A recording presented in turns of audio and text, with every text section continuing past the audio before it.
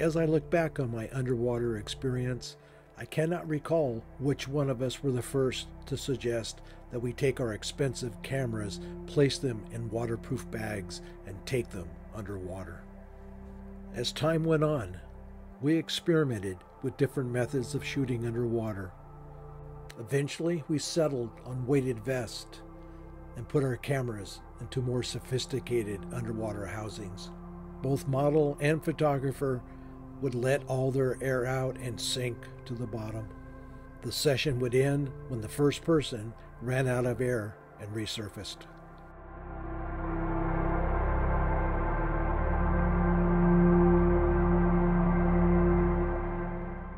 The first of the three pools that we would eventually photograph in was a beautiful indoor pool that was unheated and cold.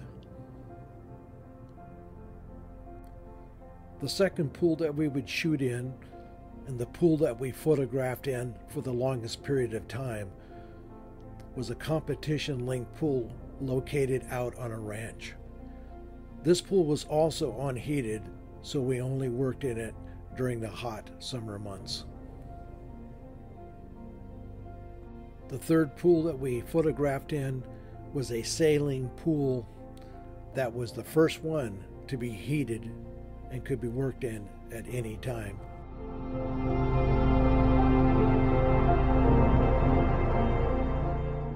There is something so magical when you enter the world that's located beneath the surface of the water.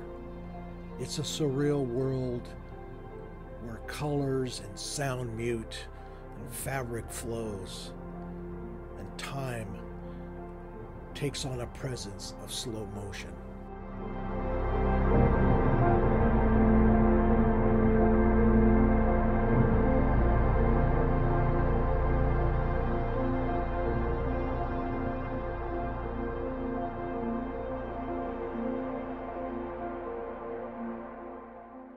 Each photo shoot would begin before sunrise with flashlights beginning to set up.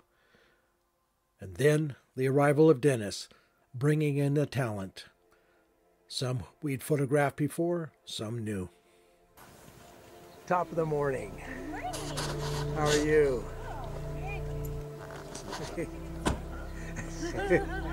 hey, brother. Yes. Hey, hi. That was good. Who's who? okay, that's Gabe. I'm Mike. Okay, yeah, that's it. You. Hi, you. Hi. How are you? Good. How are you? Good. You ready to make some art? Oh, yes. Yeah.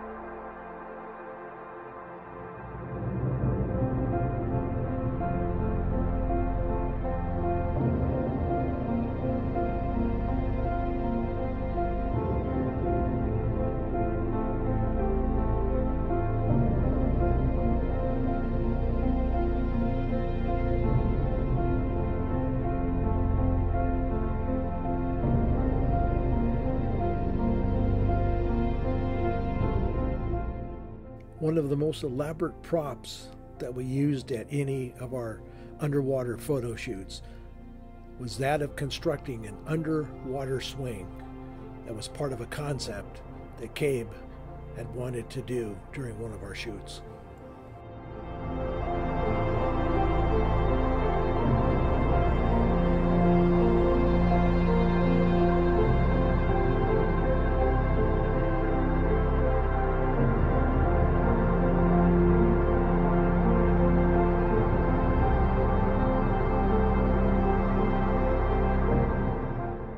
This underwater prop would serve to capture the energy and the spirit and the freedom of a young person upon a swing.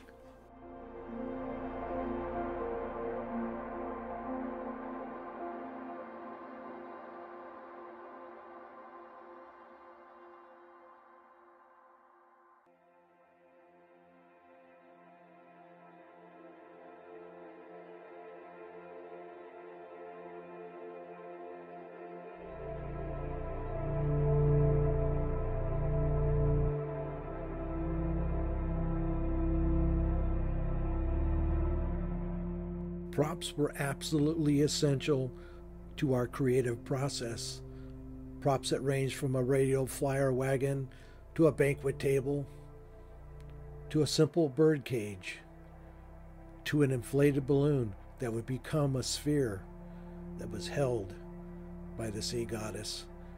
A thrift shop dress could transform the model into a fairy tale princess.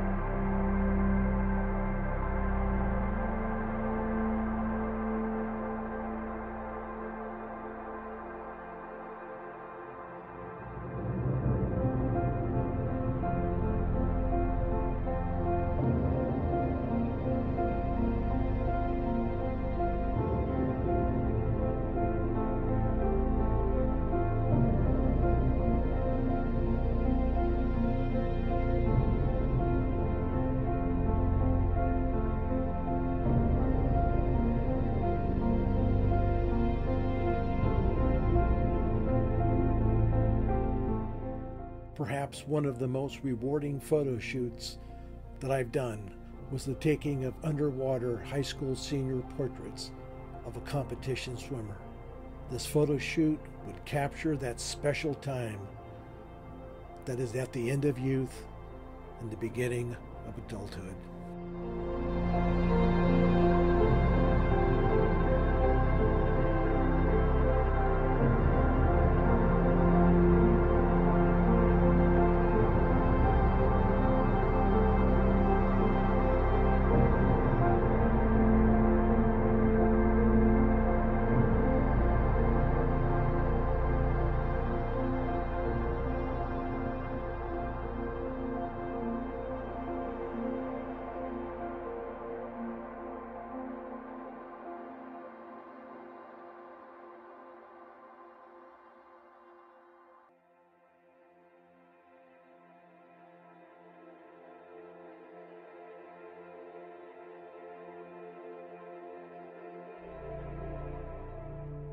We could never thank the talent enough, for without their creativity, their ability to adapt, and their collaboration, none of the magic would be possible.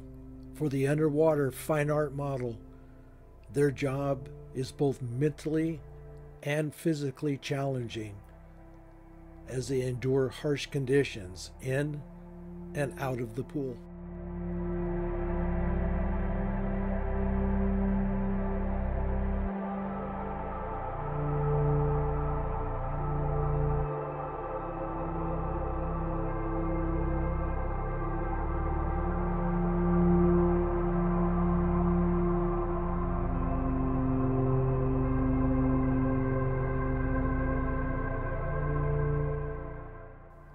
Art is something that is meant to be shared. We are so thankful for the two gallery owners who have always believed in us and given us a forum to share our work with the world. Thank you from the bottom of our hearts for the wonderful opening nights and artist receptions that you have allowed us.